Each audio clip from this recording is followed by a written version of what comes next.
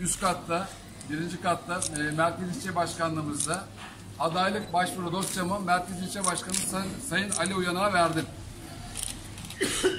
Benim yukarıda söylediğim gibi ve bütün adaylarımızın kalbinden geçen şudur.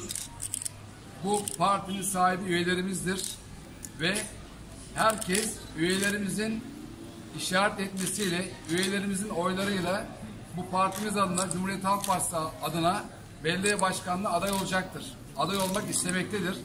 Ben bu konuda Merkez İlçe Başkanımızın ve il başkanımızın son derece samimi olduklarına inanıyorum. Ellerinden gelen, çabayı gösterdiklerini de biliyorum. Sonuç ne olursa olsun önemli olan Cumhuriyet Halk Partisi'nden hangi adayımız seçilirse seçilsin onun arkasında kenetlenmek ve Cumhuriyet Halk Partisi'nin bayrağını Çanakkale Belediyesi'nde dalgalandırmak hepimizin görevidir ve ben bunun sözünü şimdiden veriyorum. Sevgili arkadaşlarım, beni tanıyorsunuz. Ben Çanakkale'de doğdum. Bu sokaklarda büyüdüm. Hepinizle beraber pek çok anım var.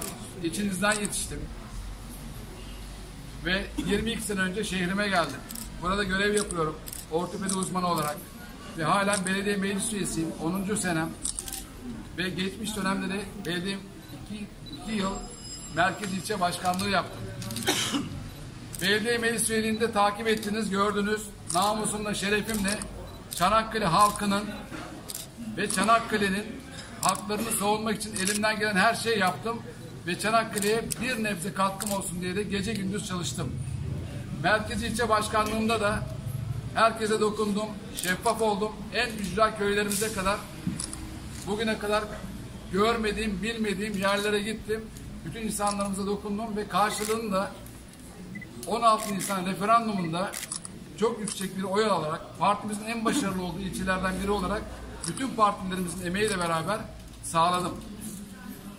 Ben Çanakkale Belediye Başkanlığı adayım. Çünkü hedefim şu. Bir, tarih, doğa ve kültür açısından son derece zengin şehrimizi bir kültür başkenti yapmak.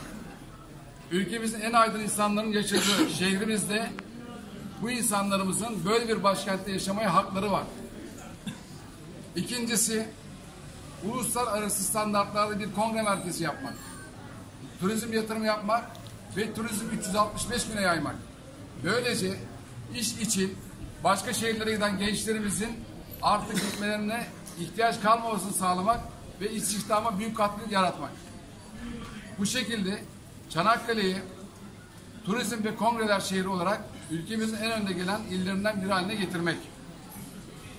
Aynı şekilde ülkemizin en büyük üniversitelerinden biri Çanakkale'mizde.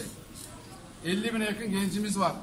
Çanakkale'nin gençleriyle beraber bu sokaklarda 70 bin genç dolaşıyor. Ben Çanakkale'yi üniversiteli ve üniversite kenti yapmak için elimden gelen her şeyi yapacağımın sözünü veriyorum.